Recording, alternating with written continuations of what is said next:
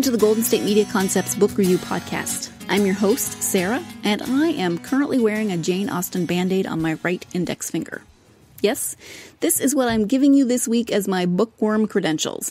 I even wear literary band aids on my paper cuts. Now, if only it were a paper cut from a book page, then maybe I'd be really cool. Or really, really nerdy. Maybe I'd be nerdy cool. Something. Unless I got a paper cut from a book and then I bled on the book and then I'd just be sad. This conversation is actually getting a little sad. Maybe a little pathetic, so I'm just going to move on, okay? If you're a returning listener, welcome back. Thank you. If you're new to this podcast, yay! We are so happy that you found us. Before we get started, um, just a quick word about the books that we discuss here because you might be expecting from a podcast called a book review podcast that I will only be talking about the newest releases or the best sellers on all the books on the bestseller list. But I think of this podcast as more of a book club than a book review. I personally love to read, I always have, and I like sharing books that I've enjoyed with others. So that's what we're doing here. We're just friends hanging out, Maybe you're drinking a cup of coffee or a cup of tea. And so we're hanging out and talking about the books that we love. We're actually going to take a quick break, but when we come back, uh, our topics for today are the Call the Midwife trilogy by Jennifer Worth and the Fox and O'Hare series by Janet Evanovich and Lee Goldberg. Stay tuned and we'll be right back.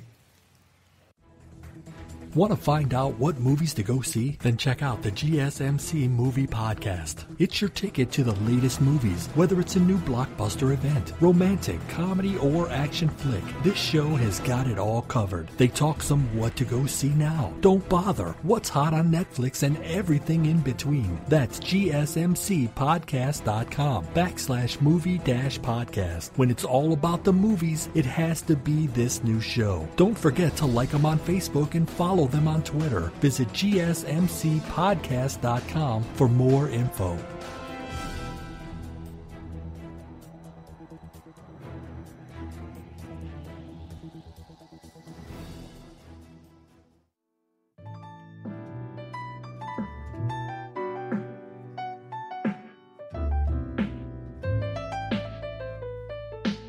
Welcome back to the Golden State Media Concepts Book Review Podcast. We're going to jump right in with our first topic Call the Midwife by Jennifer Worth.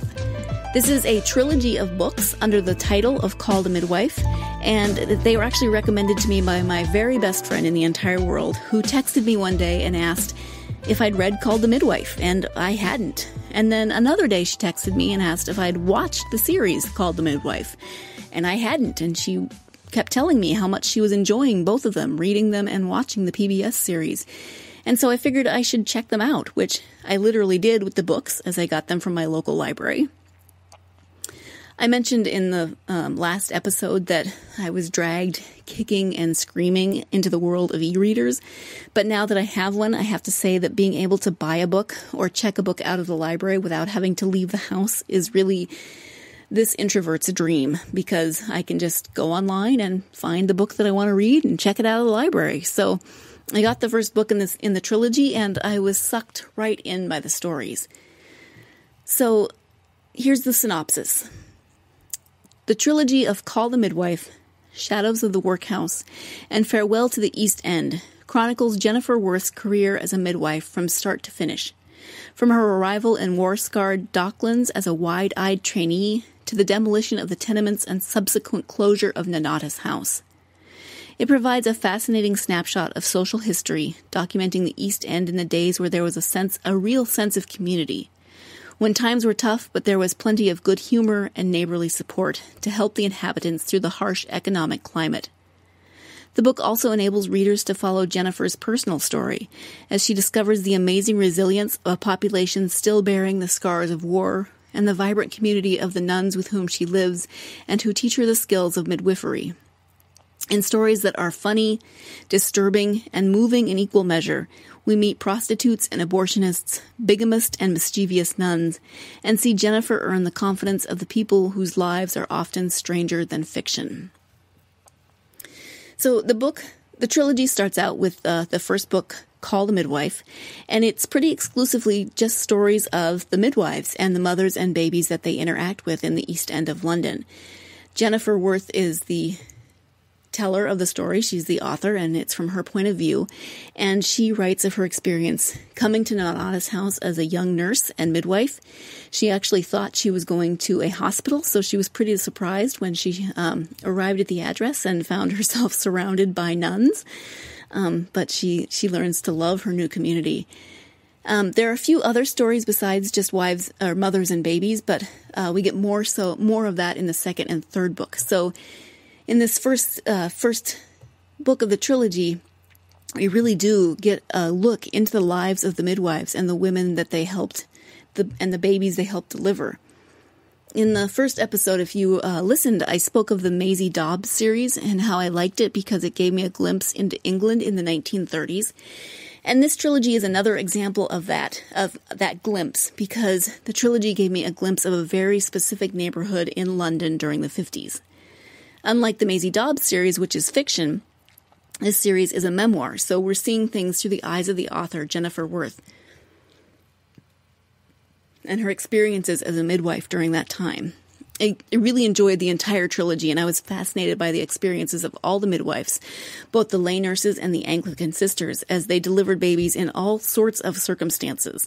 Some of them were extreme, some of them were humorous, but the the midwives themselves were amazing. The things that they encountered, the things that they dealt with, and the way that they dealt with it with compassion and love and humor. The book takes place actually at a crossroads. It's after the end of World War II, and the neighborhood that they're in, the East End, is near the docklands, the dock, the shipyards. So it was hit really heavily during World War II with the bombing, and so there's a lot of destruction. People are living in conditions that are unsafe in houses that are condemned, but they have nowhere else to go. And so we're in that time period. And then we're we're looking at things as they begin to change because in the 60s the tenements were demolished and the residents were rehoused.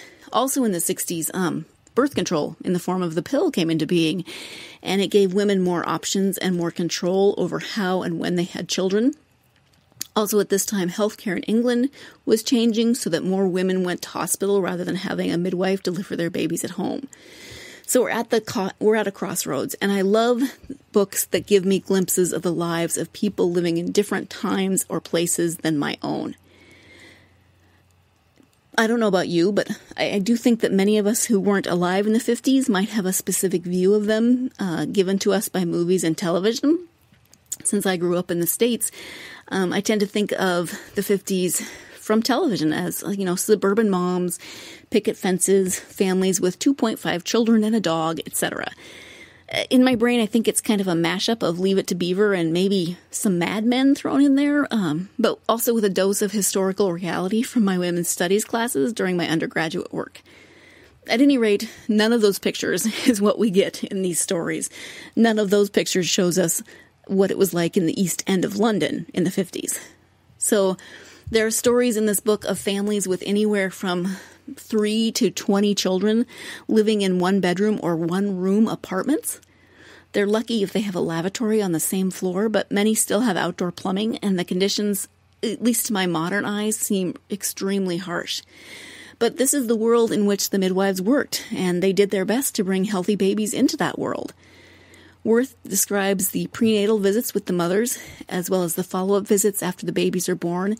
She describes the midwives' relationships with doctors who were men and who rarely attended the births unless there was something unusual or dangerous about the pregnancy. The midwives really were on their own in terms of delivering. And I don't want to tell you too much because I really do want you to read the stories for yourself, but this trilogy gives a fascinating look at a specific time, place, and profession. Worth writes with candor and humor, and it really does read like a, a, novel more than just a memoir. The nuns and the other midwives that she works with are an assorted bunch of backgrounds and personalities, and they help to bring color and life to these stories and to the series as a whole. The second book, which is called Shadows of the Workhouse, is definitely a darker series, a darker, it involves darker stories, excuse me. Worth moves away from only stories of the midwives and the delivery of babies and looks at the effects that the workhouses, though long closed when she came to the East End, um, the effect that they were still having on the lives of the people that she encountered in the tenements.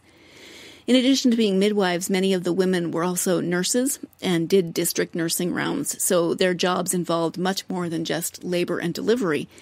So they they encountered all sorts of people during their rounds, and know I'd heard of the workhouses, of course. Um, anyone who's read Charles Dickens probably has at least a basic idea of what they were, but here Worth tells stories of the people that she encountered who had been directly affected by experiences of the workhouse. So, just for a little basic background, um, often in the up until you know even in the in the 20th century when people ran out of money or found themselves destitute without any other options, uh, they would end up in a workhouse where conditions tended to be horrible. Yes, they did receive shelter and food, at least to some extent, but families were separated. Men and women were kept separate. Children were kept separate from both men and women. So families were completely separated. They often never saw each other again. Many people died from disease, malnutrition, and overwork. And many people preferred death to ever ending up in the workhouse. In fact, the memory of the workhouses was so far reaching that Worth writes of many people that she encountered who wouldn't go to the hospital because hospitals were in the buildings that were formerly workhouses. They converted them into hospitals after the workhouses closed. And whether these people had any direct experience with them or or not, they simply had family members who told stories. They still had a fear of the building regardless of its current purpose. They were afraid that if they went into that building, even if it was a hospital, they would never come out. Now, there are still moments of joy and humor in this book, but it, it, was a much harder read for me because it does contain those elements of depression and despair. But as a history major, I know how important it is to try and understand how cultures evolve and why, and how different periods in history in a given place shape and mold the place and the people who live there. So it really was a fascinating read to understand more about the lives of the people with whom Worth and her fellow nuns and midwives were interacting. It's it's definitely a fascinating read, even if it is a little darker. And then finally, the third installment of the trilogy is called Farewell to the East End, and it documents that transition as the tenements became a thing of the past, as the midwives went their separate ways, and the sisters were reassigned when Nonnatus House was closed. We do get um, some more of the personal stories and backgrounds of the people who have populated these stories, finding out sometimes where they grew up or how they became nurses or midwives or nuns, and some of what happens to them after the series ends.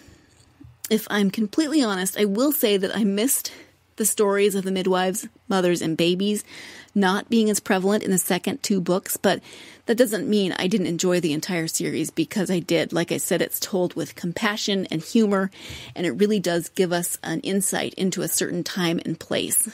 And I also really like that the series crosses a variety of, of genres from history to women's stories to memoir to sociology and social history, even some religion and philosophy from the nuns get thrown in there. The series is really interesting. It's really well written and well told, and it's one that I highly recommend to you. We do have to take a quick break though, so when we come back, we'll be talking about the PBS series based on Jennifer Worth's Call the Midwife trilogy.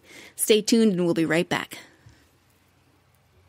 Tired of searching the vast jungle of podcasts? Now listen close and hear this out. There's a podcast network that covers just about everything that you've been searching. Hey! The Golden State Media Concepts Podcast Network is here. Nothing less than a podcast bliss with endless hours of podcast coverage. From news, sports, music, fashion, cooking, entertainment, fantasy, football, and so much more. So stop lurking around and go straight out to the Golden State Media Concepts Podcast Network. Guaranteed to fill that podcast itch.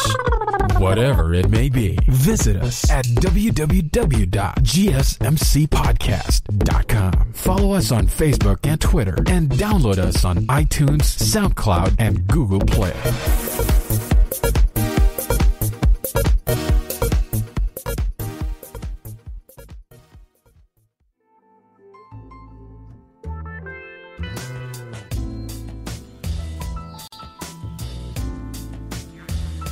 Welcome back to the Golden State Media Concepts Book Review podcast. Before the break, we were talking about Jennifer Worth's excellent Call the Midwife trilogy. And now I want to turn our attention to the PBS series, which so far has had five seasons. Season six, according to IMDb, the Internet Movie Database um, on the internet, will be starting on Christmas Day of this year. I'm very excited. As I mentioned earlier, my best friend is the one who turned me on to the books as well as to the, the TV series, and lucky for me, all five seasons were on Netflix when I started watching, so I got to binge watch them all at once. So the series is adapted by Heidi Thomas from the best selling memoirs of Jennifer Worth. This drama series is a moving, funny, colorful look at midwifery and family in the 1950s East End of London. It follows newly qualified midwife Jenny, who joins an eccentric, lovable community of nuns who are nurses at Nonnatus House. Jenny is surprised to find herself at a convent, though she thought she was being sent to a small private hospital, and is initially daunted by her surroundings, most notably the formidable Sister Evangelina and the unconventional Sister Monica Joan. But Jenny gradually begins to feel to find her way and develops incredible friendships among the nurses as they are drawn into the lives and homes of the women and families they treat. If you've if you joined us for the last episode, you know that I do have some issues with books that are um, turned into movies or TV series because of things that are left out, the things that are added in, characters who are eliminated or changed almost beyond recognition, etc. I mean, I could go on and on. I tend to be a book snob, and I do get a little cranky when my favorite books are messed with. But here's the thing it doesn't bother me with Call the Midwife. As I mentioned, there have been five seasons, so it's definitely covered a lot of ground, and they've now moved beyond the books in many ways. Uh, but I really enjoy it, and I have from almost the first moment when um, I was watching, and the eccentric sister Monica Joan opens the door of Nonnatus to Jenny and starts spouting philosophy, uh, pretty incomprehensible philosophy, and at the understandably confused young Jenny, and then she pulls her into the into Nonnatus house, and um, they eat an entire cake together. So it, it it just it sucked me in with really whimsical, delightful humor. And part of it is that it's incredibly well written, it's well acted, and it's well done in general. I think they did a great job on the casting and on the sets and the costumes, which are beautiful. Um, part of what I part of what I love about it is the music. Uh, the music that accompanies each episode is from that time period, and I love music from that era. And they, they definitely have taken some liberties with characters and plot lines expanding both uh, way beyond the scope of the book, which is understandable because it has gone on for five seasons and has been renewed for at least a sixth. And if I wanted to be really cranky and snobbish about it, I could point out everything that is different, what doesn't exist in the book, what what should have existed in the series that does exist in the book, etc. But I really just enjoy this series. And maybe it's because I started watching it before I started reading the book. Um, I checked the book out from my library, as I said, and I had to wait until a copy was available. Um, but I was able to start watching the series on Netflix right away. So maybe that has something to do with it. I don't know. Maybe it's because I tend to enjoy British television, the BBC, and PBS productions in general. Um, I apologize that I'm not explaining it better, but the basic point that I'm trying to make is that it really is a great series. I love the actors. I love the writing. As I said, I love the sets and the costumes. Um, I've always been kind of in love with clothing from that time anyway. So uh, the clothes, the outfits, and the shoes are amazing. um, oh, on a quick side note, when it comes to actors, have you ever seen the movie Matilda? Um, came out, I think it was about 20 years ago now, but it's based on a book by Roald Dahl. And um, if you have, then you might remember the actress who plays the Trunchbull, the the villain in the movie. And the actress who plays the Trunchbull is the same actress who plays Sister Evangelina in the Call the Midwife series. And so she's really good in both roles, but I will admit that it took a bit getting used to uh, seeing her playing a nun after I was so used to having seeing her in this role as the Trunchbull the Trunchbull, excuse me. And It's one of um, mine and my family's favorite movies, so I've seen it a bunch of times. So it, it gave me a bit of a shock, but she's really good. And actually, I, I love all the characters. I love all the actors who play the characters. So I, I can't speak, I think I'm gushing. I can't speak highly enough about this, um, this series.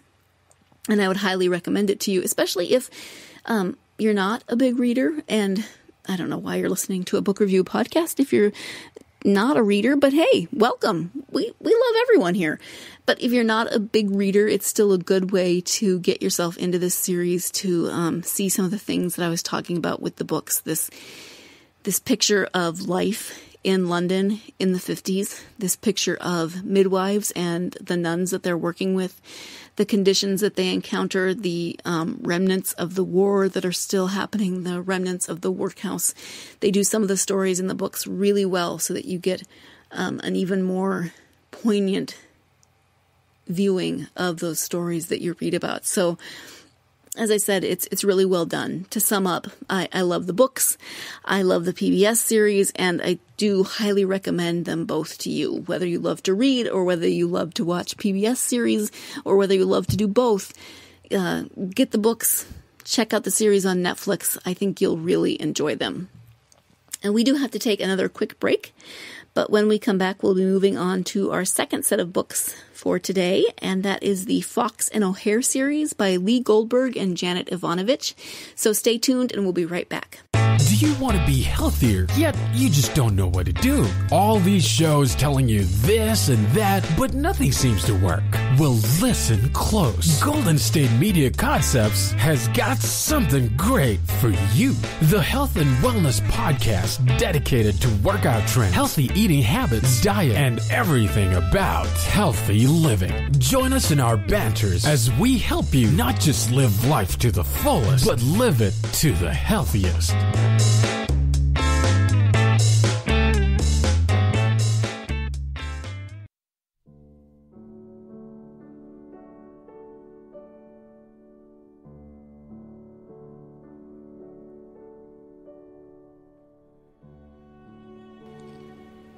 Welcome back to the Golden State Media Concepts Book Review Podcast.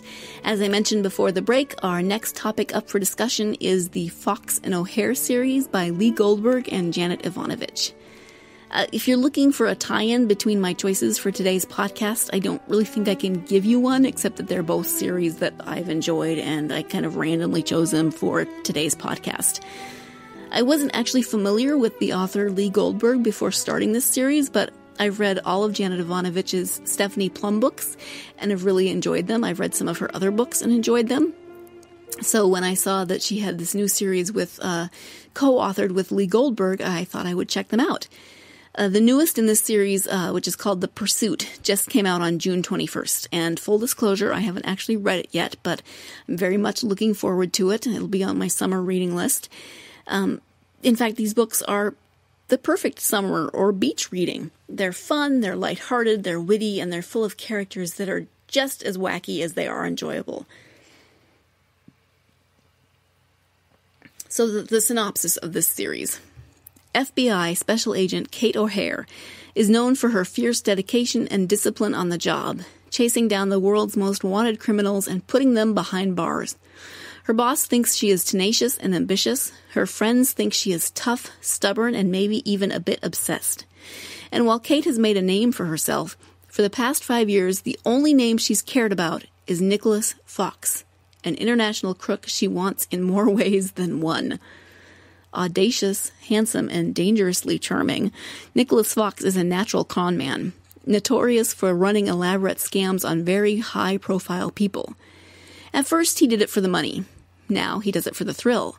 He knows the FBI has been on his trail, particularly Kate O'Hare, who has been watching his every move. For Nick, there's no greater rush than being pursued by a beautiful woman, even one who aims to lock him up. But just when it seems like Nicholas Fox has been captured for good, he pulls off his greatest con of all. He convinces the FBI to offer him a job, working side by side with Special Agent Kate O'Hare. So, right away, just from the synopsis, you can maybe see a few of the appealing qualities of these books. You have the very different personality and character types represented in Kate and Nick. And you know, there will be a lot of friction and tension created by that. There is, of course, you know, the, the prerequisite sexual tension as the two are definitely attracted. But they're so far, from what I've read, uh, are keeping it mostly professional, but it's definitely underlying all of their interactions. And I'm assuming that will probably change at some point in the future. But like I said, the books I've read, and I'm not completely caught up, uh, they haven't acted on their attraction yet. I like um, both Nick and Kate as characters. Nick is the one that tends to make me laugh the most because um, he's, you know, he is that charming, audacious con man. Although Kate's more buttoned up personality also makes me laugh sometimes. But what really makes the books fun are the supporting characters who are really a motley assortment of people. Each book contains some kind of con plan between Nick and Kate and the FBI for the benefit of the FBI. Like as, uh, as the synopsis said, Nick uh, manages to talk his way into working with the FBI to uh, bring down some of the other con men or to help them with some of the other cases that they have through his talents, which, you know, are conning and scheming and scamming. He convinces them that he can only work with Kate, and so they're tossed together using their skills her skills as an FBI agent, his skills as a, a con artist. But they, so each book they they have some scam going on that will benefit the FBI, whether that's bringing down um, a drug lord or finding uh, someone who's on the most wanted list, etc. They've always got some plan in place, but they can't do it just by themselves. So there's always a crew. Nick puts together a crew of people that will help them to carry off whatever scam they're they're trying to achieve. Um, they they put together teams of people with specific skills who can then help them pull off these jobs. Um, there's some of these these characters include um, the method actor who is super serious about every role that he takes on. It's as though every role, even when he's working for Nick and Kate, it's as though every role is I don't know, Shakespeare wrapped up in an Oscar, a Tony, and an Emmy with the possibility of a Grammy just for good measure. I mean, he takes it that seriously. And he sounds kind of stodgy, but he's really entertaining because he really embodies his roles. He has backstories, he has anything you can imagine, and he inhabits that role to the fullest he is super serious about his craft and he brings a level of character development Nick and Kate aren't always sure what to do with, but it works. Um, there's also one of my favorite characters who is a woman who is convinced that she can drive, fly, or operate any kind of machinery, no matter what it is, whether she can or cannot, whether she's ever driven, flown, or operated it before. She's convinced that just put her in this and she can take care of it. Whether it's a yacht, whether it's a jet, whether it's uh, I don't know, heavy equipment, she can handle it. And it might not sound that funny, but believe me, she is a hoot and a half. And she, she's, she's, she's hard to even describe because she is hilarious in so many ways. Um, she's one of my favorite characters. There's also um, Kate's family. There's Kate's dad, who is retired from military from the military, where he did something, you know, secretive and and special ops of some kind. Uh, the the running joke is that he could, I think it says he could kill a person ten different ways with just his pinky finger. Um, this is a man who keeps grenades in his nightstand. he's he's a little scary, but he's also just a dad who loves his daughters and a grandfather who loves his grandchildren. Um, and part of showing that love is by teaching his children and grandchildren how to kill people with their own pinky fingers. Or that maybe you should keep grenades in your own nightstand because you just never know. You should be prepared. Um, he's always there for Kate. He's really um, engaged and active in her life and in her sister's life and the life of their kids. He actually lives with Kate's sister um, on their property. So he is very involved in their lives now when he wasn't so much when they were growing up. And I admit it, I might be a little bit in love with Kate's father. um, I know Nick is the lead male character, and he's charming and funny and sarcastic, which are all traits that I like, but for some reason, it's Kate's dad who always seems to make me smile in his books, who makes me just, I don't know, maybe he makes me grin, and I just, I kind of want to hang out with him. And I say this with apologies to my own father, whom I love, who is nothing like Kate's father. Um, but my dad's also not fictional, so he's infinitely superior to Kate's father. But I am a little bit in love with Kate's father, so there's my confession for the day. There's also Kate's sister and her husband and children, who are um, your typical kind of suburban family. Um, Kate's sister is a wife and mother, and if it weren't for her father and sister, who lead their less than typical lifestyles, she would be your just kind of typical wife, mother, soccer mom. And um, she provides, I think, the foil to Kate's character, reminding us that no matter how sucked in we are by the characters and by the story, these are not your typical protagonists. Uh, Kate's life is in no way normal, um, so we see her in in juxtaposition to her sister and her quote unquote normal lifestyle. What I love about these books is that they're the kind of story that involves a whole slew of puzzle pieces that have to fall just perfectly into place in order for the con to work. In some ways, these stories uh, are a little bit unbelievable because no one could plan something so perfectly and anticipate every possible scenario and potential issue like they do in these books. But that unbelievability is exactly why I love them, exactly why I find them so enjoyable. I admit it, I love a good over the top story where things work out the way the plan was supposed to, where everything just falls into place. It reminds me of movies like The Italian Job or The A Team, which was a movie and a TV show. Um, and that was where the character Hannibal always declares how he loves it when a plan comes together. It's true. I do love it when a plan comes together. Maybe it's because I feel like my own plans don't always come together. Um, and maybe maybe I'm just happy that I don't have to do the actual planning of a, of a scam or a con that is this in depth, this intricate, this detailed. But if you're looking for a good summer beach read, these books I would say are perfect. They have action, comedy, romance to an extent, a bit of mystery, and hijinks galore. If you're looking for hijinks, these are the books for you. I hope the the series remains strong for a while because, as I keep saying, I thoroughly enjoy them, and um, I would love to be able to look forward to them, uh, to know that there are more books coming and more entertainment coming. That is all the time that we have for today. Thank you so much for joining me in our discussion of the Call to Call the Midwife trilogy by Jennifer Worth, as well as the PBS series of the same name, and the Fox and O'Hare series by Lee Goldberg and Janet Evanovich. I hope you had as much fun as I did, and that you will join me next time uh, when we discuss some other options for great summer beach reads. Don't forget, you can always learn more about the GSMC Podcast Network at g- www.gsmcpodcast.com. You can subscribe to all of our podcasts on iTunes, SoundCloud, and Google Play.